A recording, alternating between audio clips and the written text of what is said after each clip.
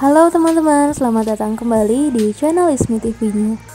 Oh iya teman-teman, pasti udah pada tahu kan tentang kabar yang belakangan ini sering sekali memberitakan tentang penyakit autoimun yang saat ini menyerang penyanyi cantik Asanti.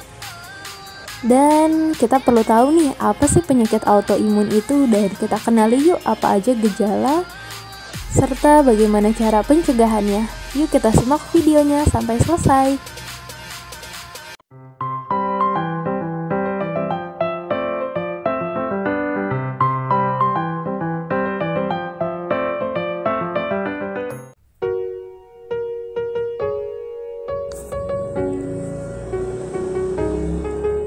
Mengenal penyakit autoimun jadi kondisi ketika sistem kekebalan tubuh seseorang menyerang tubuhnya sendiri, teman-teman. Nah, normalnya sistem kekebalan tubuh menjaga tubuh dari serangan organisme asing seperti bakteri ataupun virus. Namun pada seseorang yang menderita penyakit autoimun, sistem kekebalan tubuhnya melihat sel tubuh yang sehat sebagai organisme yang asing sehingga sistem kekebalan tubuh akan melepaskan protein teman-teman dan protein ini disebut dengan auto antibody yang akhirnya menyerang sel-sel tubuh yang sehat yang ada di dalam tubuh orang yang dengan penderita autoimun tersebut. Kemudian kita kenali yuk apa aja sih penyebab penyakit dari autoimun ini. Sebenarnya teman-teman penyakit autoimun ini belum diketahui apa penyebab penyakit autoimun.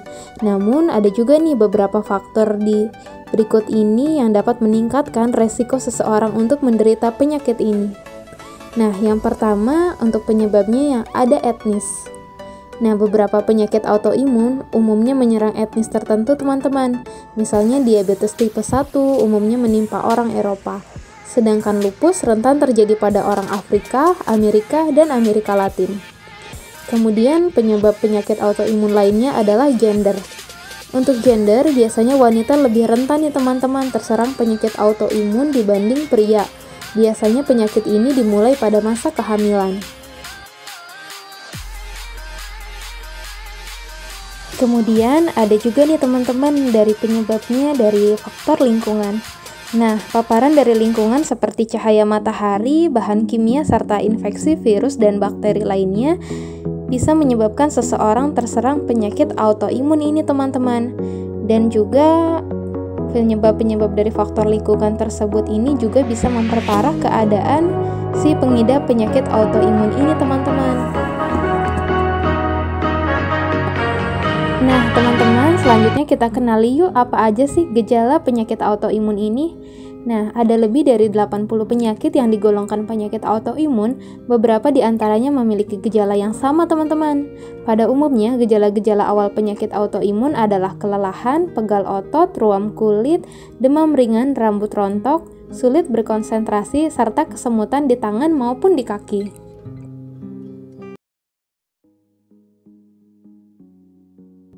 Kemudian teman-teman kita kenali yuk di sini ada beberapa contoh dari penyakit autoimun serta gejalanya.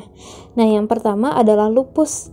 Lupus ini dapat mempengaruhi hampir semua sistem organ dan menimbulkan gejala teman-teman seperti demam, nyeri sendi, ruam kulit, kulit pun menjadi sensitif, sariawan, bengkak pada tungkai, sakit kepala, kejang, nyeri dada, sesak napas, pucat juga sampai dengan pendarahan. Nah, kemudian selanjutnya ada penyakit Graves. Nah, untuk penyakit Graves dari autoimun ini dapat mengakibatkan kehilangan berat badan teman-teman. Mata pun menonjol, gelisah, rambut rontok, jantung pun ikut berdebar.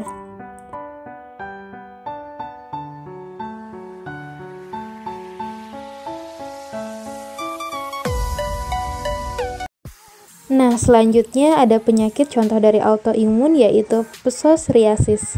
Nah, untuk psoriasis ini adalah contoh dari kulit bersisik yang dialami tiba-tiba oleh seseorang yang memiliki penyakit autoimun ini, teman-teman.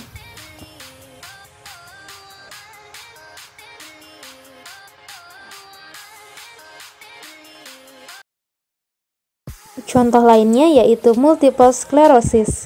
Nah, untuk multiple sclerosis yaitu penyakit yang dengan gejalanya yaitu nyeri, Lelah, otot tegang, gangguan penglihatan, dan kurangnya koordinasi tubuh merupakan gejala dari multiple sclerosis ini, teman-teman.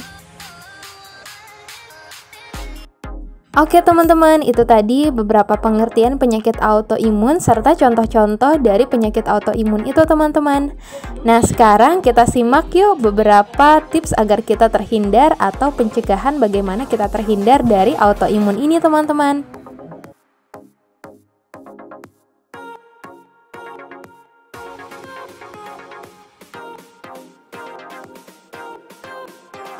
Oke teman-teman, ini dia untuk tips cara mencegah dari penyakit autoimun. Yang pertama, sebisa mungkin hindari stres, temukan metode relaksasi atau penyembuhan yang tepat untuk mengatasinya. Kemudian, cukupi kebutuhan juga nih teman-teman. Kebutuhan tubuh akan omega 3 yang adalah anti peradangan alami. Dan yang terakhir adalah olahraga yang rutin akan membantu mengatur sistem hormon dan kekebalan tubuh berfungsi dengan baik. Oke teman-teman, itu tadi sedikit pembahasan tentang penyakit autoimun. Sampai ketemu lagi ya di video selanjutnya. Terima kasih sudah nonton. Sampai jumpa.